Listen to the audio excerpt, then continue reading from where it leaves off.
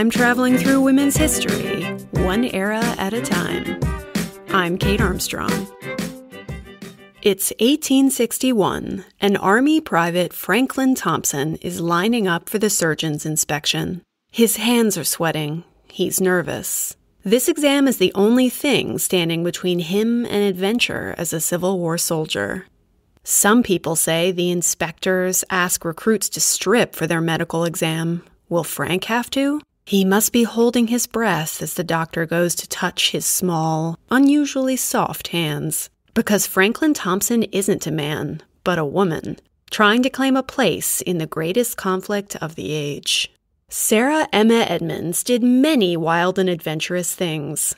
She ran away from home as a teen and lived for years as a man, making her own way through the world. She served three years in the Union Army, nursing, fighting, and spying, then wrote a best selling book about it all. Later, she became one of the only acknowledged women soldiers to get a pension for her military service. In a time when a woman's role was fixed and certain, she lived on her own terms, no matter what it cost.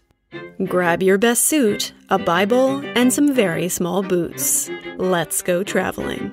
But first, a shout out to some of my patrons Pirate Queens Edie, Emily, and Jessica, and my lady presidents Amy, Brendan, Avery, Caroline, Elizabeth, Eve, Jackie, Caitlin, Karen, Lauren, Louisa, Lindsay, Nancy, Paul, and Walter. If you haven't yet listened to episode 5 on Lady Soldiers, I'd go back and do that now. It'll really help you appreciate everything Emma has to face. Sarah Emma Evelyn Edmondson was born in New Brunswick, Canada in 1841. Her parents, Isaac and Betsy Edmondson, were both immigrants. Isaac's people had originally come over from Scotland. When he decided it was time to find him a wife and have some babies, he quite literally plucked Betsy right off an Irish boat. New Brunswick wasn't an easy place to be a dirt farmer. In this wild, sparsely populated frontier, the winters were frigid, the fogs intense, the soil difficult. So when Isaac married Betsy, he did so with the hopes of fathering a brood of sons to lend a hand. But instead, he got himself several daughters in quick succession Eliza, Frances, and Mary Jane, and then, finally, Thomas.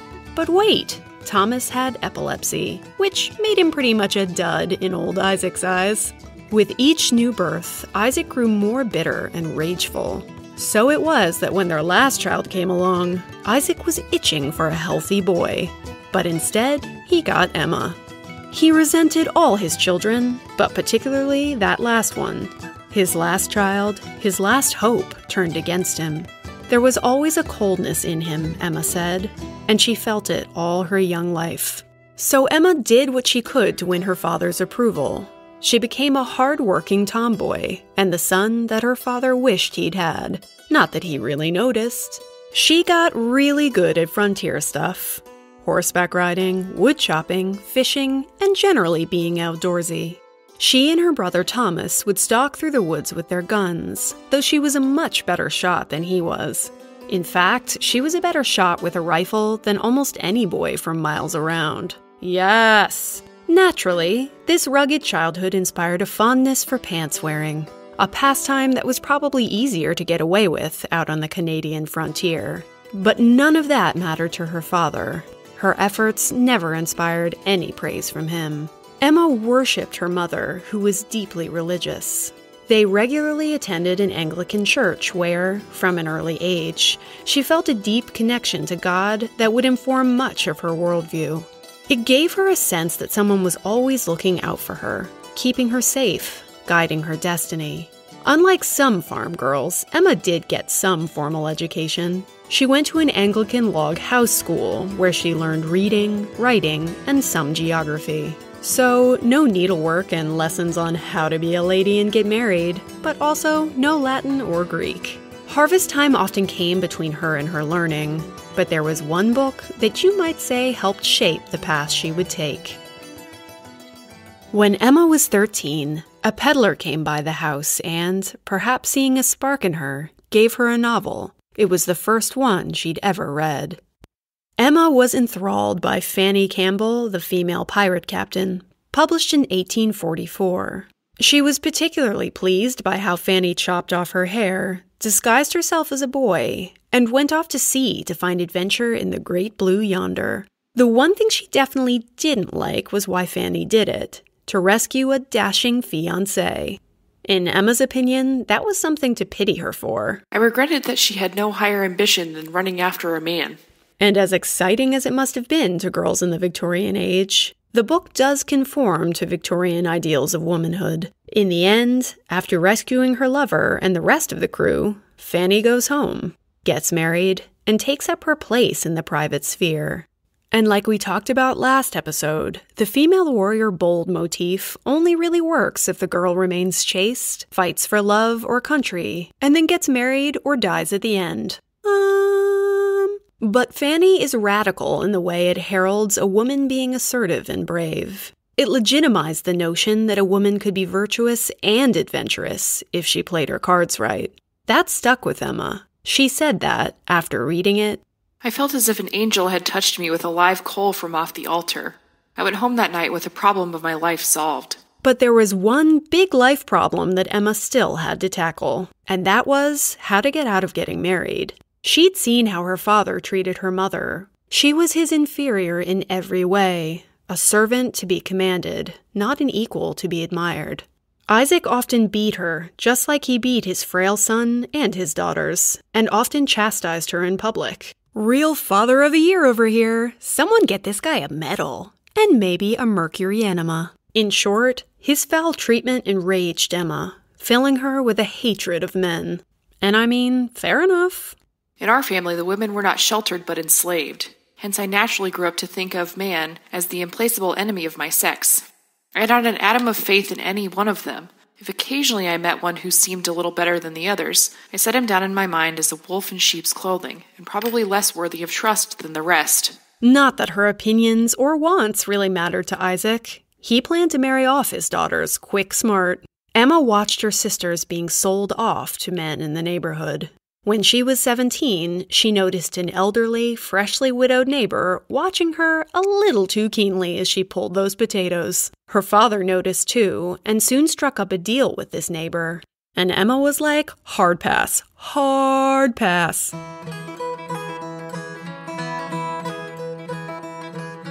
We don't know how Emma actually made her escape. Perhaps her mother helped her. Perhaps it was a family friend. All we know is that she did it, and that dear old dad pursued her.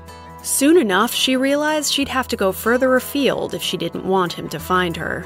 But how to get free? This is a time when it's very difficult for women to travel by themselves without some kind of male chaperone. It would look suspicious. Someone would definitely find her out, or she'd just be vulnerable. Though, that said, it's not like she'd grown up in the cult of true womanhood. But there's a flip side to that coin.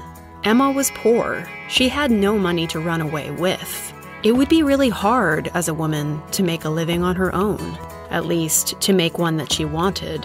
With so much going against her, most women would have just gone home. But Emma did something truly radical. This girl, alone and still in her teens, put on pants, cut off her hair, and made up a new identity Franklin Thompson. Not exactly a pirate captain, but halfway there. It's Frank who replied to a job ad as a traveling Bible salesman, kicking off a whole new life. In many ways, it was the perfect job for Emma. She'd be able to travel and thus avoid her father finding her, and enjoy some freedom while she was at it. But at first, she was so worried about being recognized that she traveled at night and slept in the woods during the day. Tired and hungry, she knew that it was time to try and sell some books. But those first visits going door to door must have been completely sweat inducing. What if they didn't buy her disguise? What if they looked past her clothes and knew? But her fears turned out to be unfounded. The strangers bought her persona every time. Emma was pretty tall for her era and rather lithe from her years of hard labor. She had a strong jaw and cheekbones, not exactly a delicate flower. People tended to take a liking to young Franklin Thompson. She outdid most of the company's other salesmen, making enough money to get along quite well. Over the next few years, she prospered, buying nice clothes. She even bought a horse and buggy. Basically, she made mad money and a whole lot of admirers.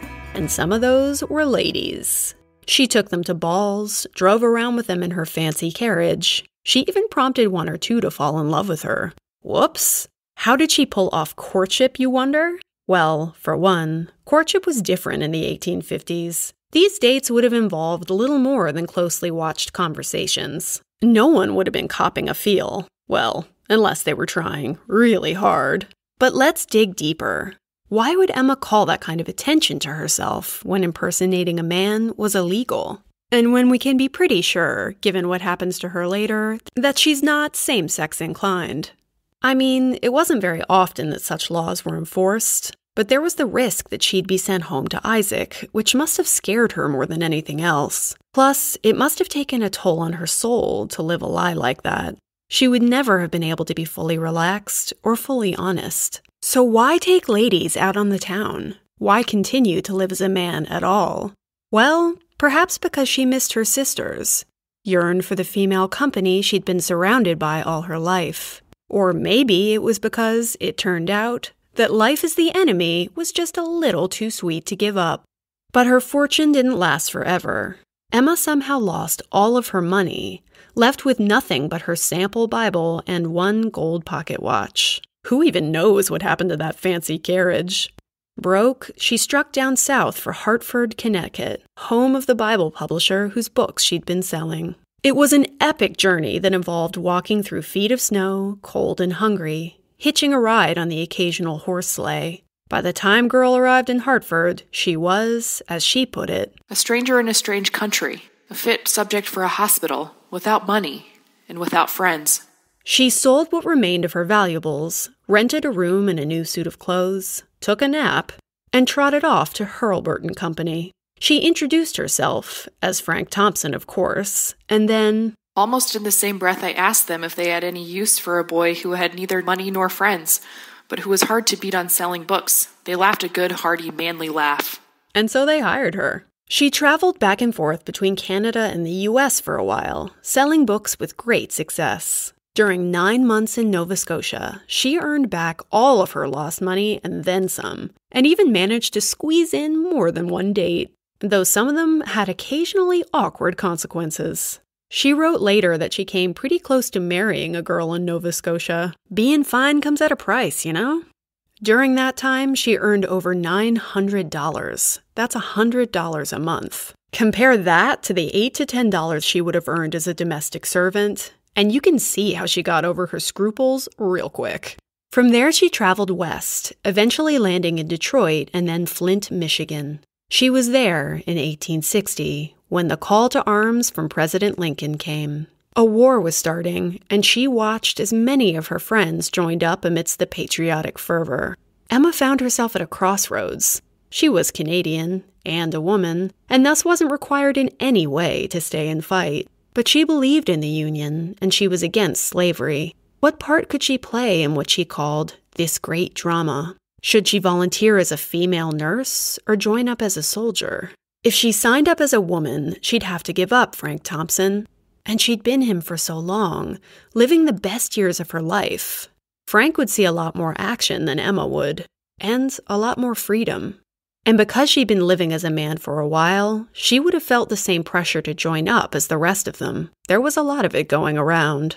The question was was she willing to take her deception to that level? Under the scrutiny of the U.S. Army, would she even be able to pull it off? As a devout Christian, the whole Frank versus Emma issue must have been a thorny one. So she prayed on it. I was not able to decide for myself, she said. I carried this question to the throne of grace and found a satisfactory answer there and 19 year old Emma decided it was God's will that she join up. It was probably the throne of grace she was thinking of as she stood nervously in line at Fort Wayne in Detroit, waiting for the doctor to examine her.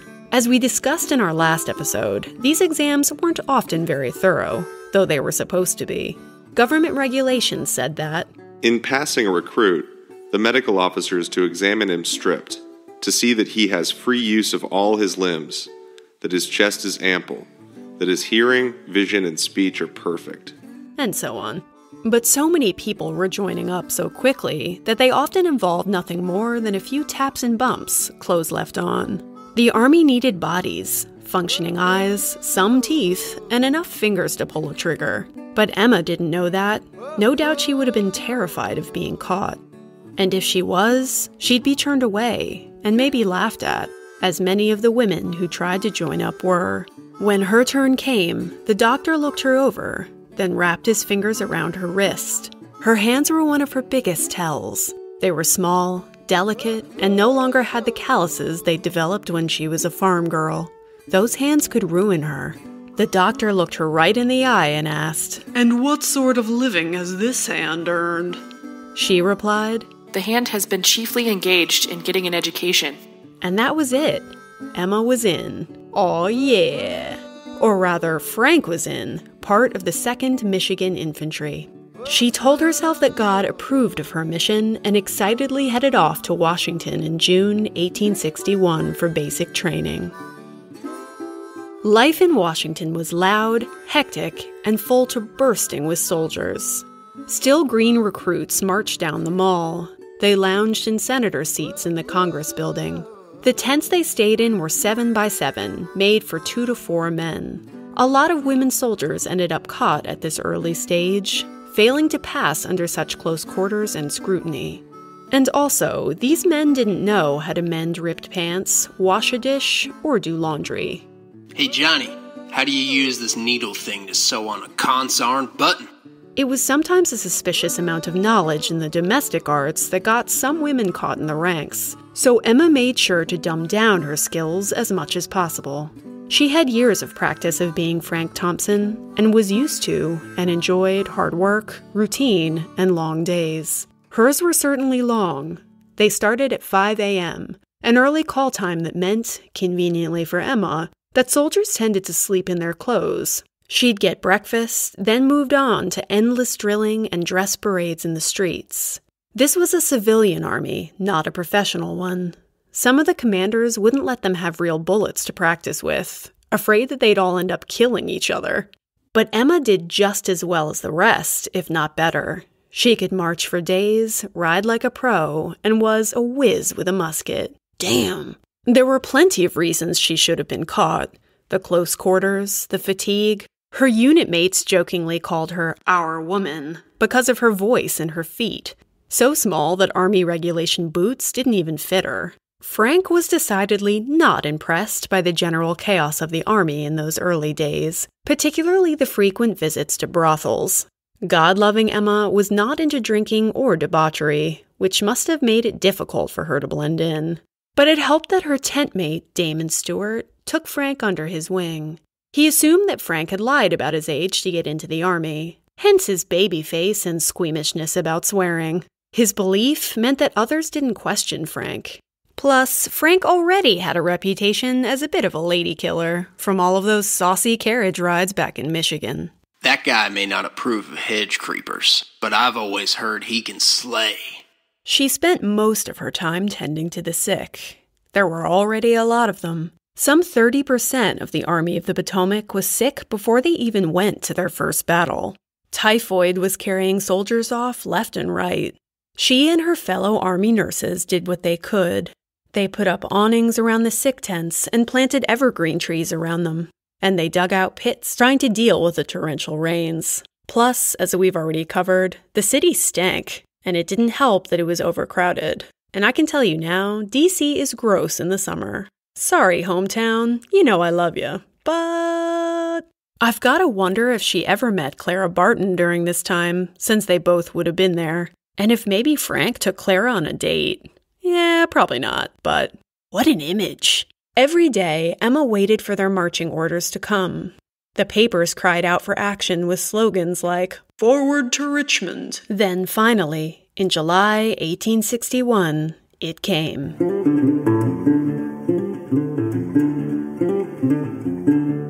The army set off with much music and fanfare, but she was dismayed by what became apparent on their first march to Manassas, Virginia. That even after months of drilling, the army was still a big, disorganized mess. They broke ranks, wandering off to pick blackberries, and stopped frequently to take off their still not broken in boots. The army had roughly 33 miles to travel. Back in our century, by car, this would take us less than an hour but it took the Army several days. Picture a bunch of office workers strapping on heavy packs and heading down the Appalachian Trail with almost no training whatsoever. By the time they got to the field of battle, they were sunburned, parched, and tired. But they were also excited. This was it, at last, their chance to win the war. Because remember, at this point, nobody really knew what they were in for. Spectators drove for miles around to watch the first Battle of Bull Run. They even brought picnic baskets. What should we do this Sunday, darling? I know. Go watch people be shot. Everyone thought this war would be one battle and done. Little did they know the shitstorm that was about to hit them. But hit them it did. Emma watched as men got mown down, officers and privates and helpers alike. Their legs crushed, arms gone, grass running red. Now the battle began to rage with terrible fury. Nothing could be heard save the thunder of artillery, the clash of steel, and the continuous roar of musketry. With bullets whizzing around her, she rushed to get soldiers water and to help the wounded get to safer ground. I'm not really a battle connoisseur, so let's skip the ins and outs of this one in favor of a summary. The Union seemed to be making headway, but then things turned against them. The Confederates rallied, the Union buckled, the very inexperienced soldiers got scared, and so the great skedaddle began. Soldiers limped, ran, and drove stolen ambulances back to Washington, tails firmly between their legs. This wasn't just a defeat, it was a complete humiliation.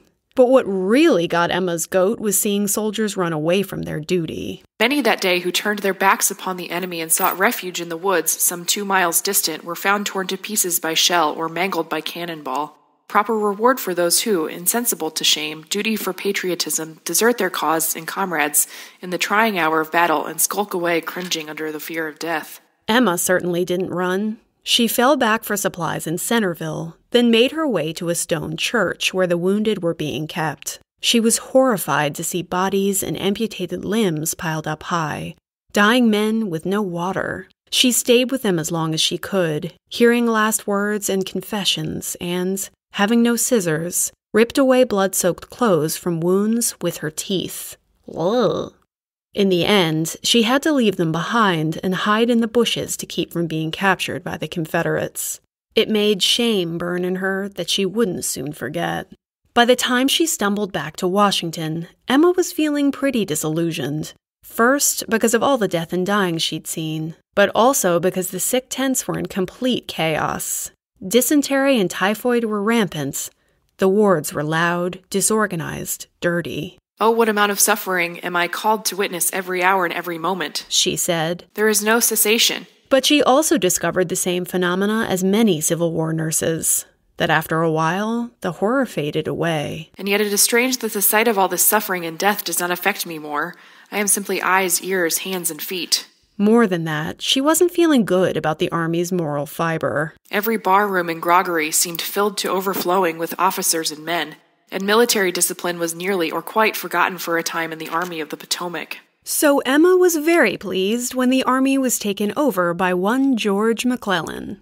He'd go on to get in a lot of hot water for refusing to march on Abe Lincoln's say so, but Emma had kind of a crush on this guy because of how he whipped the army into shape, and also how much he disliked all of their bad behavior. He was known, when he saw some of his soldiers on the street, for making them pour their whiskey in the gutter. Boo! It was during this time that Emma made a friend, a rather studly friend.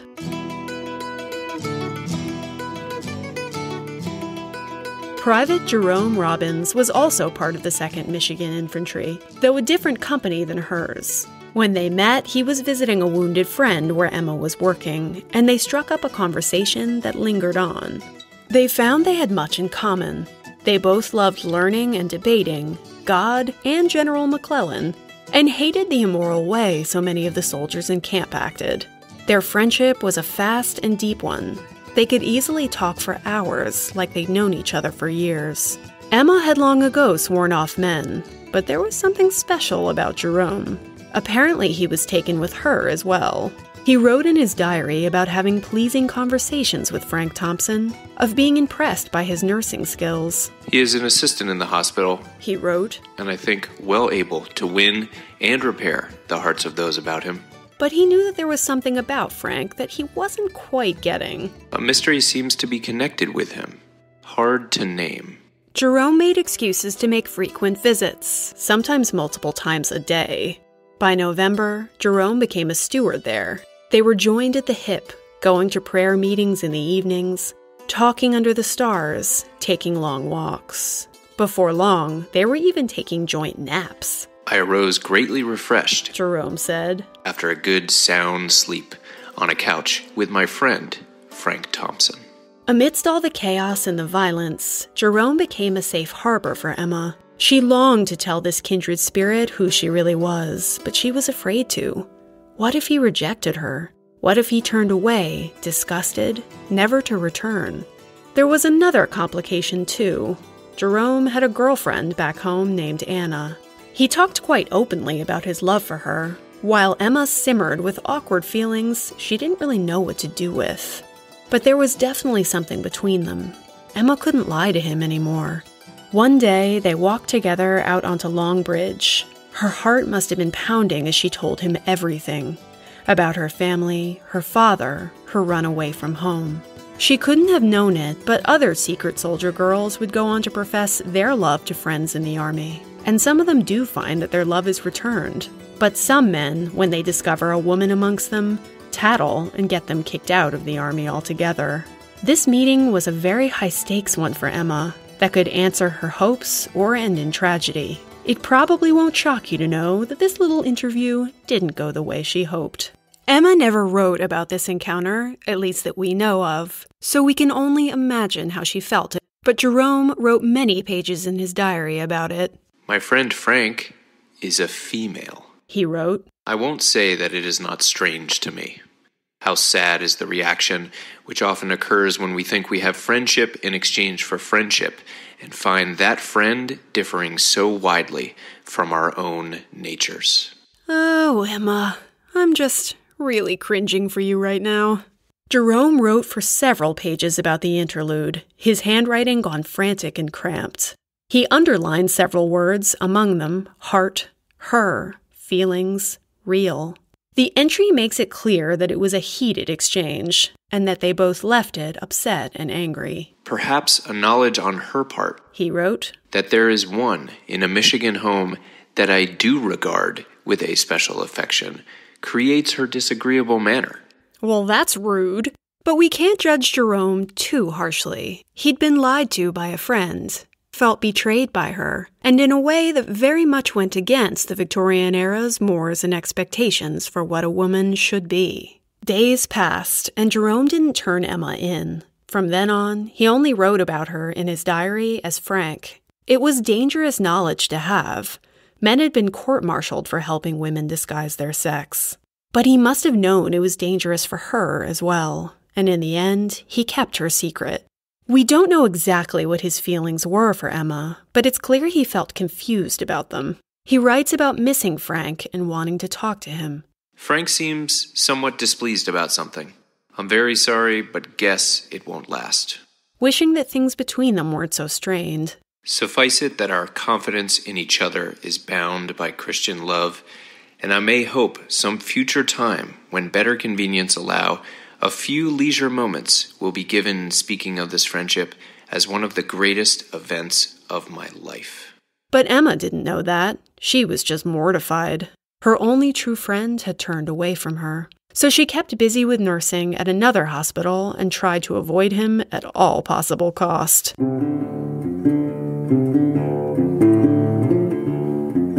In 1862, as the Army mobilized, she came under the command of a Colonel Orlando Poe. Poe gave her a new duty, that of mail carrier. She got this job, Poe said later, because she was effeminate, and because he didn't want to take any strong looking soldiers from the fighting ranks. Okay, Poe. Regardless, being a mail carrier was an important job. The only way to spread the word quickly was by letter or by telegraph, which most soldiers wouldn't have had access to, and sometimes just wasn't available. And Emma knew that. It was nothing short of a calamity for a heavy mail to be captured by the enemy. It was also a dangerous duty. Mail carriers were often overtaken by the enemy and shot. But being so good at riding, she excelled at it. She even named her horse Frank, of course. Oh, Emma. The army made their way by steamer boat and marching through mud down to the Virginia Peninsula. Emma would ride Frank out to neighboring farms and houses, trying to produce food for the army's ever dwindling supply. It was in this way that she met with a bit of a misadventure. At one house, a woman came to the door and invited Emma in, rather cordially given the circumstances. As she meandered through the house, supposedly gathering supplies, Emma knew that something was off.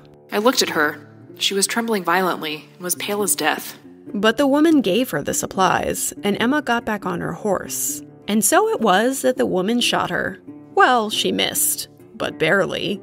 Emma didn't think, she just reacted. She got out her pistol and shot the woman right through her palm. The woman, shrieking, tried to run away, but Emma tied her hands and led her back to camp. She did feel bad, though, so she let the woman sit on Frank for a while. But still, she told her in no uncertain terms that if she uttered another word or screamed, she was a dead woman. Damn, Emma. Apparently, Emma's captive ended up becoming a nurse for the Union Army. They called her Nellie, and she and Emma worked side by side for a while. Bit bizarre. It turned out that one of the Union's head detectives, Allan Pinkerton, needed help with his spying network. He needed to find some new recruits who could lie, pretend, be patient, cunning, and discreet. It was a very dangerous task. Men had been hanged for it. But she was ready to do something more than tend the sick and she trusted that God had her back on this one. The subject of life and death was not weighed in the balance. I left that in the hands of my Creator, feeling assured that I was just as safe in passing the picket lines of the enemy if it was goodwill that I should go there, as I would be in the federal camp. And if not, His will be done. And so she headed back to Washington for yet another examination. She was grilled by none other than heartthrob General McClellan, with questions about her loyalty and her allegiance. She passed that test, and then the firearms test, with flying colors. But once again, she was nervous about the medical exam. What if they asked her to strip down? What would she do then? But in the end, it was only a phrenological exam. You know, the practice of feeling one's head lumps. Which apparently proved her organs of secretiveness and combativeness were satisfactorily large. And you know what they say about small feet and big secretive lobes. Heyo! And with that, she was officially a Union spy. Let's take a quick break so I can introduce you to some other magnificent ladies. Hi, everyone. I'm Katie Nelson. And I'm Olivia Meikle. We're two academic sisters. And we host a podcast called What's Her Name? What's Her Name podcast tells you the stories of fascinating women that you've never heard of. We're unearthing the histories of really interesting women that have slipped through the cracks of our collective history. We add era appropriate music. We interview really fascinating experts everyone from professors to authors to the manager of a brothel museum. we cover it all. So give it a listen. What's her name podcast.com. She only had three days to prepare for her first mission, which was to steal her way into Yorktown, Virginia. But how would she get away with it, sneaking deep into Confederate territory? Well, she decided she'd disguise herself as a black man. Naturally. This sounds insane, I'm very aware. But apparently, this was a relatively popular spy disguise. And it worked.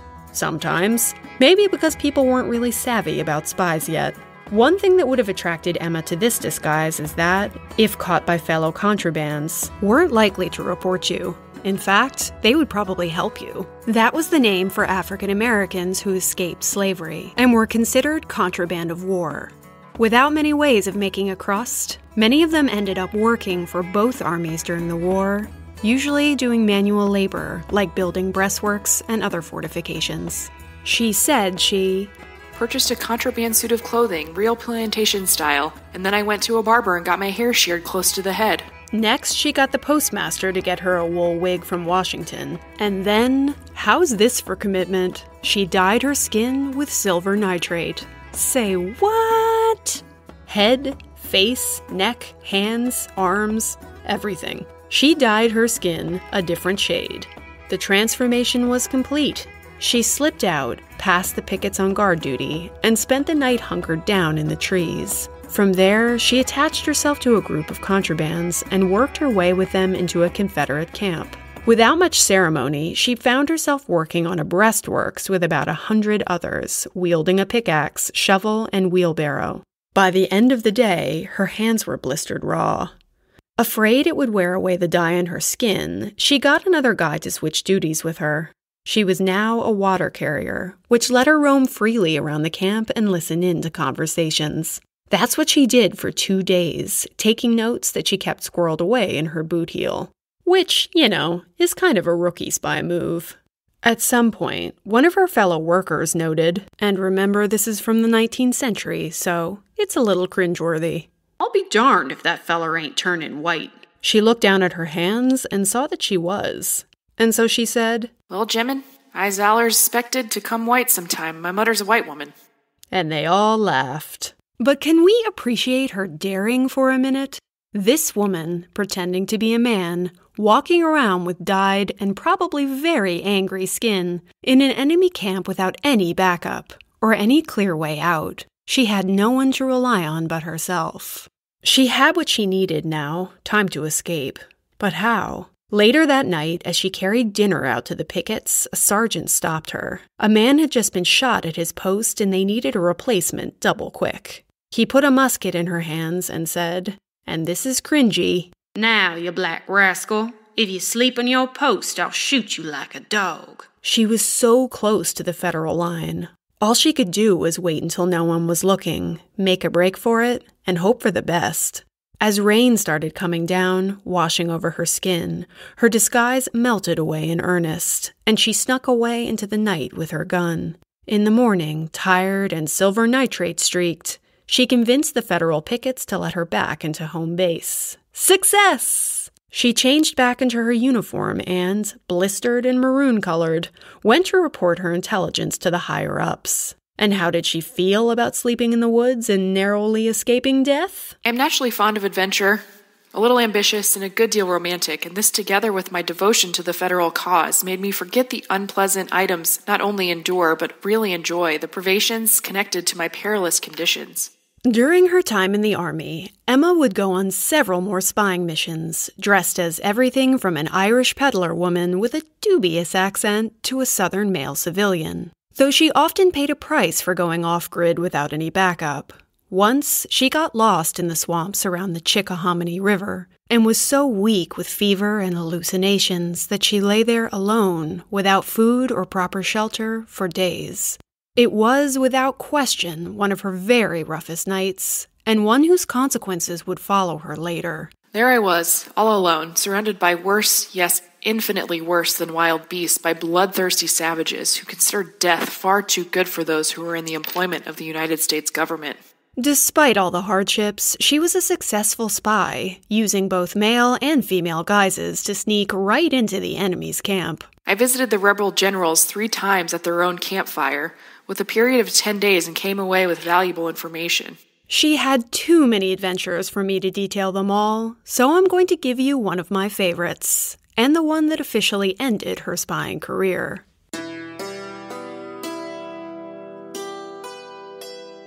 She dressed up as a Southern civilian boy, going door to door to find eggs and butter for the army, but really, she was trying to root out Confederate plans and guerrilla cells.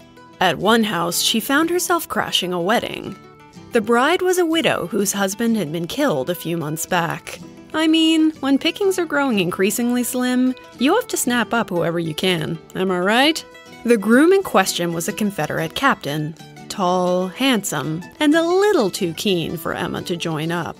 See here, my lad. He told her. I think the best thing you can do is enlist and join a company which is just forming here in the village and will leave in the morning. We're giving a bounty to all who freely enlist and are conscripting those who refuse. Which do you propose to do? He gave her two hours to make her decision, then placed her under guard so she couldn't run away. Thankfully, those guards were already pretty far into their cups and more than happy to answer Emma's questions about the army's numbers and movements. In the morning, off they rode, probably all a little hungover. Emma, their unwilling conscript.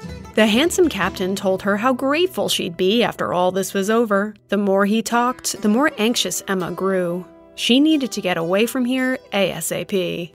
Luckily, they ran into a Union cavalry unit. There was a tussle, a confusion of guns firing, people yelling, and in all the confusion, the Union captain, who recognized Emma, waved her over to their side.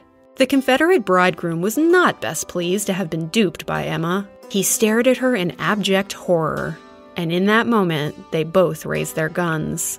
But Emma was the quicker draw, and she shot him directly in the face. Damn, Emma, you couldn't have gone for an arm or something?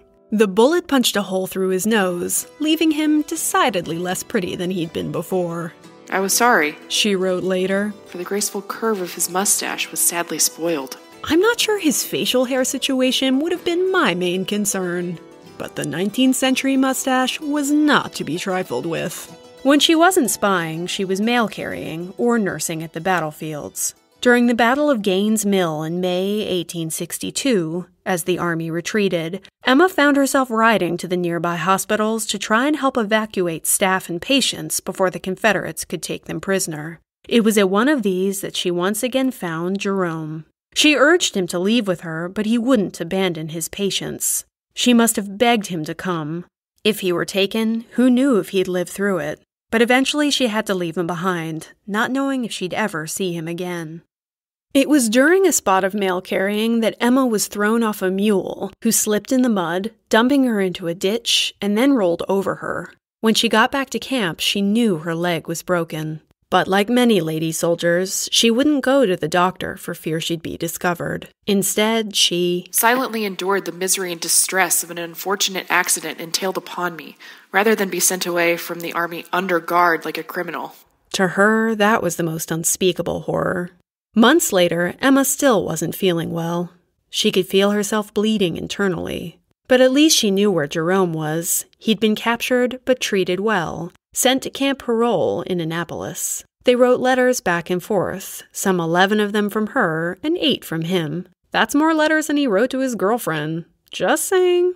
While Jerome was away, the army marched to just outside Fredericksburg, Virginia, and Emma found herself carrying mail between there and Washington.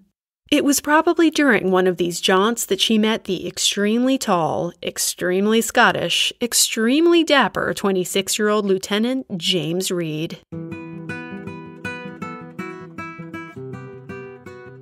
There's a lot that we don't know about James Reed, but what we do know is pretty sexy. He joined the Army with the 79th New York Militia, called the Highlanders, who showed up to Washington wearing proper tartan kilts. And now I pause to have a daydream about Jamie from Outlander. He was very unlike her friend Jerome tall, fair haired, and blue eyed, loud and dashing, and married, but he impressed her nonetheless. When she arrived back at camp, she found the army unhappily sitting in snow and mud, waiting for orders. The army was either going into their winter quarters or taking Fredericksburg from the Confederates. Burnside's staff told him it was a bad idea, but off capturing, the army went. Several of our lady friends got to watch this particularly horrid battle, including Clara Barton and our surgeon friend, Mary Walker. After days of heavy fighting, Emma learned that Colonel Poe had lost his aide de camp. She volunteered to step in wearing full military regalia. She rushed up and down the lines with him, carrying messages and dodging bullets. A fellow soldier said that she went with a fearlessness that attracted the attention and secured the commendation of field and general officers. But she also saw many awful things that seared themselves into her memory. She saw a man commit suicide on the field, and another shoot himself in the leg so he could get out of fighting. It was horrible to watch thousands of soldiers rush the city only to fall down in rows. And there, in the field, she saw a face that she knew. We're not completely sure if it was James Reed, the fiery Scotsman, but it might have been, and we sure hope it is. She pulled him off the field, gave him opium and whiskey, and soon he was riding back off into the field, leaving her to watch longingly, lustily, after him. Meanwhile, Jerome was finally being released from camp parole in December and making his way back to the army. He looked around camp for Emma, but couldn't find her anywhere. When he did, he thought they'd have a jolly reunion. Good friends, close confidants. Who knows? Maybe they could even be bunkmates. No, wait. Emma already had one, and he was tall, good looking, and Scottish. Awkward. To be fair, we don't know what their relationship was, but we know that it was close. Quite close, according to her old flame Jerome. Have not had a very long chat with Frank, and I feel quite lonely without him. But I suppose he enjoys his tent mate. Reed seems a fine fellow, and is very fond of Frank.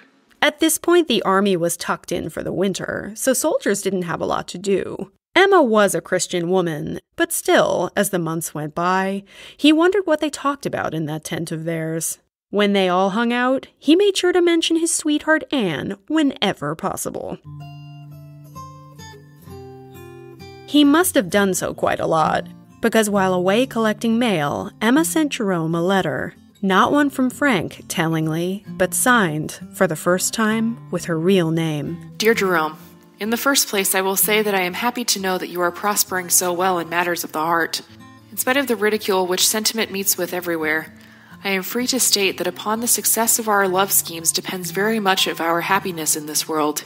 Dear Jerome, I am in earnest in my congratulations and daily realize that had I met you some years ago, I might have been much happier now. But Providence has ordered it otherwise, and I must be content. I would not change now if I could, if my life's happiness depended on it.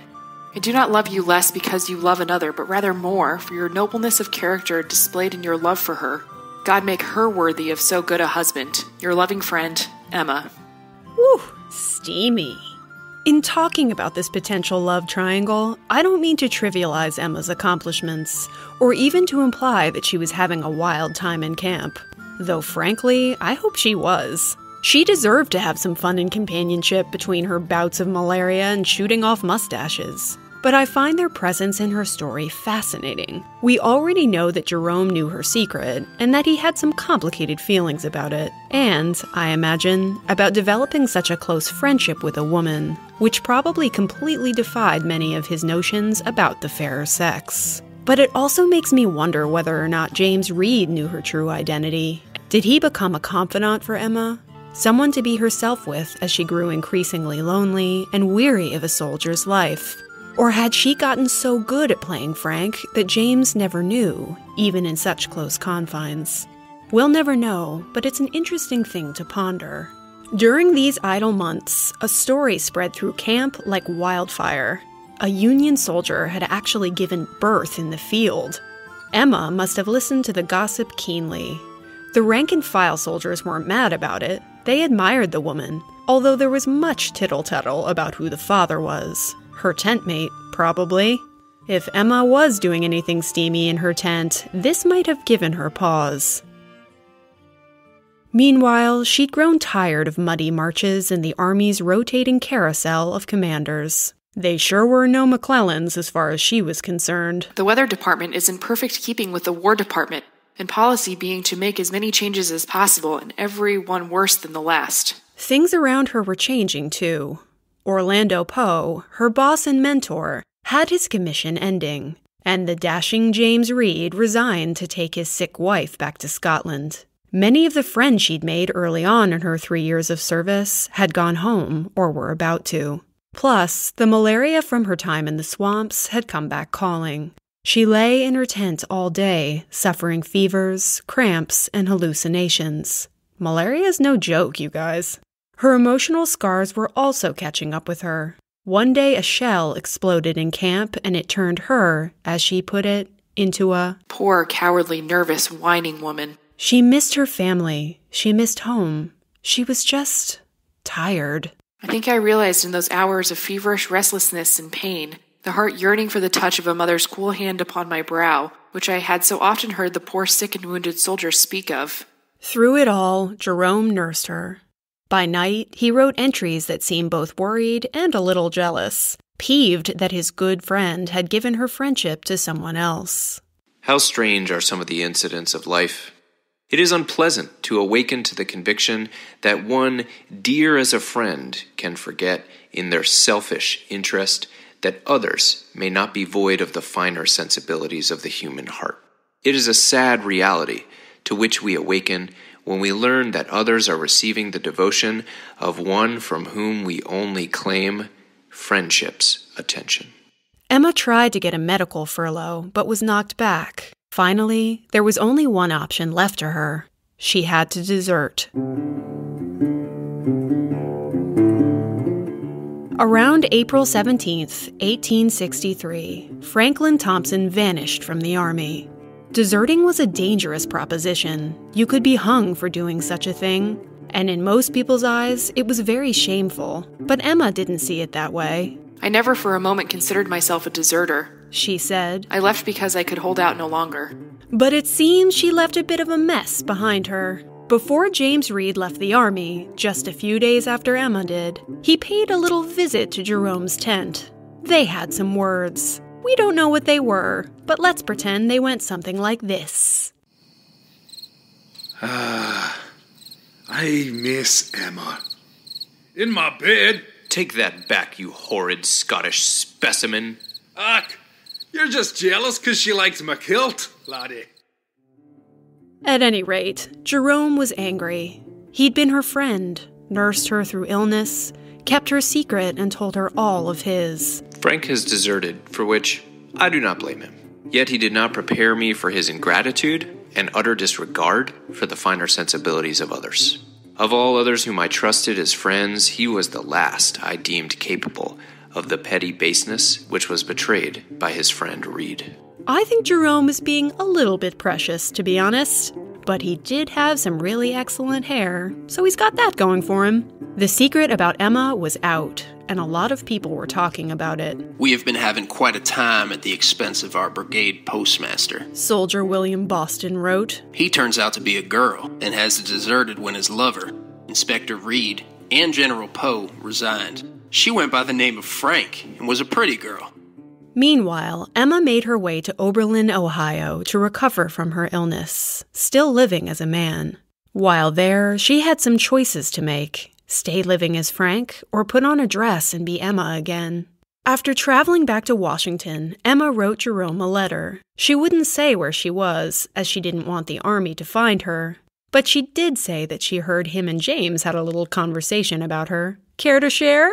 She also requested he send a picture of himself.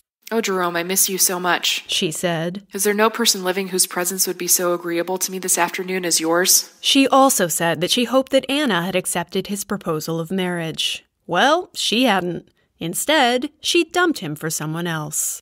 This is your moment, Jerome. Cue romantic music. But he didn't go to Emma. Maybe he really did only feel friendship for her. Maybe he couldn't get over what she'd done. Either way, there's no evidence that suggests that they ever saw each other again. Emma packed her pants away and left Frank behind her, in terms of her outfits, anyway. In 1864, she relived all of his adventures in her memoir, Nurse and Spy in the Union Army.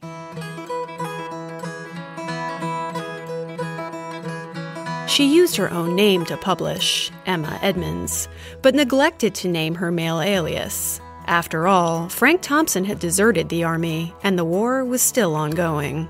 She made up regiment and officer names, too, or just gave them initials, to keep everyone fairly anonymous. It's for this reason that so much of what she writes, and who she's writing about, is hard to pin down. Later, she freely admitted that her book was part fact, part embellishment, drawn from other people's experiences as well as her own. But the underlying story checks out, and there's no reason to doubt Emma, adventures with silver nitrate and all. The book was an overnight success. Turns out people were thrilled to read about a secret lady soldier. Unlike our friend Loretta Velasquez from last episode, who wrote in her memoir about her many romantic conquests and generally gave no damns about it, Emma's memoir stuck closely to the narrative arc of adventure books of the era. While she didn't join for a man like Fanny Campbell, pirate captain, she sticks to the female warrior bold motif by underlining her patriotism. Disappointingly, the book gives not even one good whiff of Scottish romance. Maybe because she thought that was what an adventure story featuring a female protagonist had to sound like. Maybe she was just very conscious that her wearing pants and going off to war were already going to ruffle feathers, and didn't want to get too many panties in a twist. Either way, she was careful to paint her adventures in a clean, chaste, patriotic light. And as her publisher wrote in the book's foreword, perhaps she should have the privilege of choosing for herself whatever may be the surest protection from insult and inconvenience in her blessed, self sacrificing work. The book sold some 175,000 copies. Uncle Tom's Cabin, the biggest, most explosive bestseller of the 19th century, sold 300,000. And what did she do with her newfound riches? Grab Jerome in a bikini and head down to Key West? Nope. She donates all of the proceeds directly to the Christian Commission and the Sanitary Commission to help wounded and veteran soldiers. She even dedicates the memoir to them. Imagine handing over that much money, a rare windfall for a woman at the time, and to a cause that you'd already given so much to. It tells us more about Emma than her book ever could. After that, she joined up with the Army again, this time as a volunteer female nurse, which is how she served out the rest of the war. After that, she went home to visit her family. Both of her parents had passed away, but she was able to see her sisters and roam the woods with her brother. But it wasn't long before she grew restless, and no wonder. On the way back to Ohio to finish the college classes she'd started there, she found Linus Seeley, a fellow Canadian she'd met during her time nursing in Harper's Ferry. Turns out they had a bit of a spark between them. He accepted her for who she was completely, even with everything she'd done during the war. They tied the knot in Ohio in 1867. By all accounts, it was a happy marriage. But what must it have felt like for Emma to go from spy and freewheeling soldier to devoted domestic wife? She wrote later Well, you know how the census takers sum up all our employments with the two easily written words married woman. That is what I became, and of course that tells the entire story. And Emma was content to leave her story at that. At a time when many women were touring the country, giving dramatic reenactments of their time spying and fighting, she stayed quiet. While she was proud of her nursing, she seemed uncomfortable with all the spying, the lying, the scheming. What she'd done as Frank Thompson didn't all fit with her new life, so she did what many women soldiers did left it behind her. She and Linus went on to have two boys, both of which died young, and a girl named Alice. By age 32, Emma's health wasn't great, in large part because of the malaria and injuries she'd suffered as a soldier, but she persevered. The couple adopted a pair of orphans, and then they moved to Louisiana to take up management of a home full of 67 more. These years were good ones for Emma. Much like our friend Clara Barton, she was always happiest when she was busy and giving back to others. But the muggy climate kicked up her old war wounds, and before long, she really wasn't feeling well. Misfortune followed. In 1880, her daughter Alice died, and with that, she'd lost all three of her natural born children. She lay in a dark room for weeks on end, grieving for Alice. They moved to Fort Scott, Kansas for a fresh start. Many war veterans were also living there, with health complaints from their time in service. And before long, Emma realized they were all getting pensions. That sounded nice and fair. She thought she should be getting one too.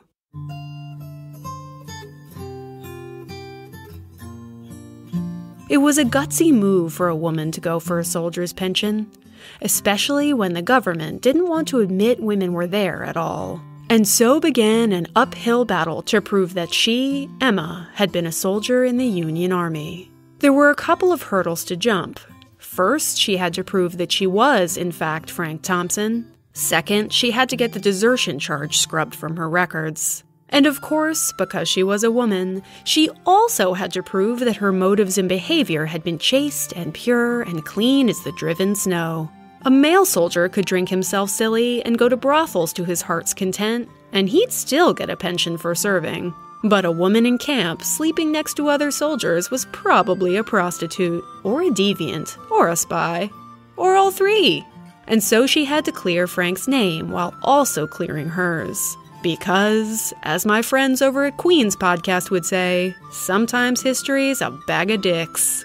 She sent a letter to Michigan's Adjutant General, John Robertson, asking for Frank Thompson's certificate of service and saying that she and Frank were the same. He wrote back that he'd be glad to do it, but she'd only used her initials in the letter. He'd need the writer's name in full. So when Emma wrote back, she wrote freely and for the first time. My full name is Sarah Emma Evelyn Seeley. I enlisted and served as Franklin Thompson in Company F, 2nd Michigan Volunteers. Now she had to get some witness statements. In an era with no digital paper trail, no selfies, and no geotags, this was a crucial step. She couldn't ask Jerome. She needed people who hadn't known her secret while she served, as she worried it would look sketchy and potentially scandalous to provide ones from men who had known and said nothing. So she asked Mr. Hurlbut, the publishing friend who'd given Frank Thompson a job way back when. She also went to see her old tent mate, Damon Stewart. Remember that guy? She walked into his dry goods store in Flint, Michigan, and asked if he could tell her where Frank Thompson was. Are you his mother? He said, confused. No. His sister, perhaps. Someone came up behind them, so she picked up a pencil and wrote on a scrap of paper Quiet. I am Frank Thompson. He was so shocked and delighted that he invited her over to his house to meet his wife. He even invited a reporter along, who wrote a story all about Frank's wonderful and faithful service. She stayed with them for a full week, during which time many of their old buddies came by to see her. Each one of them wrote a letter in favor of her pension. After that, more and more of her old Army buddies got in touch. They even made up a committee to help her win her pension. They invited her to a reunion of the 2nd Michigan, and though she was too sick to attend, she was touched that they wanted to see her. My brief message to the boys is this Frank's heart beats just as warm and true as it beat under a regulation blouse. Tears are in my eyes, but I shall never ever forget your kindness to Frank Thompson. All I can say is that I am deeply grateful and thank you. Then Emma was invited to another reunion where her friend Orlando Poe was excited to learn, after 20 years of wondering, what happened to his favorite mail carrier. The Michigan boys were all glad to see her. They clapped and yelled until she got up on stage. She said, Perhaps a spirit of adventure was important, but patriotism was the grand secret of my success. Some of the wives didn't share their enthusiasm, because men weren't the only ones who suspected lady soldiers of being loose characters. We can't be tearing each other down, ladies. Honestly, lean in. Finally, on March 28, 1884, the House of Representatives passed House Bill number 5335, which said, Truth is oft-times stranger than fiction. That Frank Thompson and Mrs. Sarah E. E. Seelye are one and the same person is established by abundance of proof and beyond a doubt. She submits a statement and also the testimony of ten credible witnesses, men of intelligence, holding places of high honor and trust, who positively swear she is the identical Franklin Thompson. It took quite a while longer, years in fact, for the government to lift the desertion charge. But it greatly relieved Emma when they finally did. And with it came her sign up bonus and a veteran's pension of $12 a month. It was a big win for Emma. She was one of the first, and one of the only, female soldiers to be granted a pension. But even then, Congress played up her nursing and played down her soldiering. They made sure to say the nursing work she'd done at the end of the war, while wearing a dress, rendered much more valuable aid to the cause nearest her heart than she could possibly have done as a soldier. Whatever, Congress.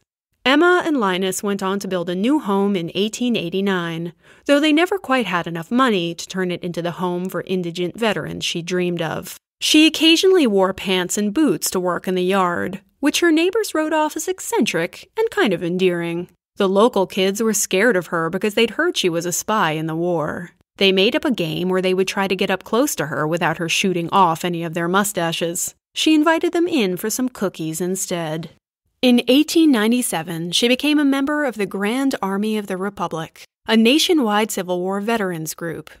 No other woman claiming to be a soldier had been admitted, but she was voted in, the only woman ever to be so. It was, to her, the greatest possible honor. It legitimized everything she'd risked and done for the army she loved. Emma finally died of malaria on September 5, 1898, at the age of only 56. She was buried in La Porte, Texas, but was later moved to Houston's Washington Cemetery, to the Grand Army of the Republic gravesite, buried with full military honors. In his address to the 2nd Michigan in 1901, Colonel Frederick Schneider said, No war ever displayed so much bravery and devotion among women as did the Great Civil War. But none of the many instances recorded have surpassed the record for pure, unselfish patriotism and zeal for the cause of humanity, daring bravery, and heroic fortitude as that of Sarah Emma Edmonds. The whole world made better for her having lived in it. Years later, in the 1920s, her obituary was found folded neatly into one of Jerome's journals. It read, A remarkable character has passed away. Emma was indeed a remarkable character. At 17, she ran away and became Frank Thompson, braving the threat of imprisonment and social exile to make her own way in the world. She joined the war effort, even though she didn't have to, saving lives and tending wounds no matter what it cost. She fought for her right to get the pension she'd worked so hard for, proudly defying the notion that women were never there at all. Emma was never afraid to fight for what she believed in. I hope one day to be as brave. Until next time. Bye. Thanks for listening to the Exploress. If you liked it, tell a friend and go and rate and review it on Apple Podcasts. It makes a way bigger difference than you think. For tons of great images of Emma's life and times, go to my Instagram at the Exploress Podcast. Catch up with me on Twitter at the Exploress Pod or Facebook at the Exploress Podcast. To support the show and get exclusive access to bonus episodes, become a patron by going to Patreon and looking up the Exploress. I'd love to see you there. For a transcript of this episode, a list of suggested reading, tons of images, and more, go to my website at www.theexploresspodcast.com. A huge thank you to Paul Gablonsky for my theme music and logo, and to the following legends for their vocal stylings. Claire Burke as our adventurous Emma Edmonds, Avery Downing as the dapper Jerome Robbins, Simon Denatris as our Scottish rogue James Reed, and John Armstrong, Andrew Goldman, and Phil Chevalier. Next time on the Exploress. The mid 19th century holds certain truths to be self evident that ladies are far too sweet, too chaste, and too gentle to be spies. These preconceived notions only helped women become some of the American Civil War's most successful secret agents, lying, manipulating, and smuggling more things under their crinolines than you could fit into the back of your car. They flirted with generals and very real danger, risking everything to help win the cause they dearly loved. Grab your sewing kit, your cipher, and some disappearing ink. Let's go traveling.